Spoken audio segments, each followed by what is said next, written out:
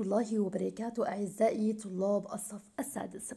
سوف أقوم اليوم بحل أسئلة المحفوظات يافا الجميلة وهذه الأسئلة متواجدة في الكتاب صفحة رقم 83 السؤال الأول. يتصور الشاعر أن الطائرة التي أقلته كانت تحلق بسرعة كالريح. لماذا؟ لشدة شوقه إلى يافا إذا يتصور الشاعر أن الطائرة التي أقلته كانت تحلق بسرعة كالريح. لماذا؟ لشدة شوقه إلى يافا السؤال الثاني وازن بين شعور الشاعر في حالة ألف قدومه إلى يافا كان بشوق وفرح شديدين كأنه قادم إلى الجنة. الفرح والسرور والشوق لرؤيتها. ب مغادرته يافا كان يشعر بالضيق والحزن على مغادرتها ولم يطق وداعها أنتقل الآن أعزائي الطلاب إلى السؤال الثالث استنتج مقومات تحقيق القومية العربية كما يراها الشاعر وما رأيك في ذلك؟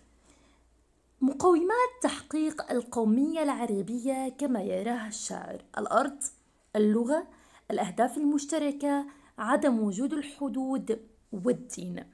أما رأيكم فيترك لكم أعزائي الطلاب. السؤال الرابع. إلى ما رمز الشاعر بكل من؟ أولا العقاب الطائر القوي الذي يحلق عاليا. أو الطائرة الارتفاع الشموخ العلو والقوة. الضاد اللغة العربية. الكتاب القرآن الكريم. إذا إلى ما رمز الشاعر بكل من عقاب؟ الطائر القوي الذي يحلق عاليا الطائرة الارتفاع الشموخ والعلو والقوة والسرعة كذلك. الضاد اللغة العربية. الكتاب القرآن الكريم الدين الإسلامي. السؤال الخامس أعزائي الطلاب لماذا كرر الشاعر حرف النفي لا ثلاث مرات في البيت السابع؟ ما هو البيت السابع؟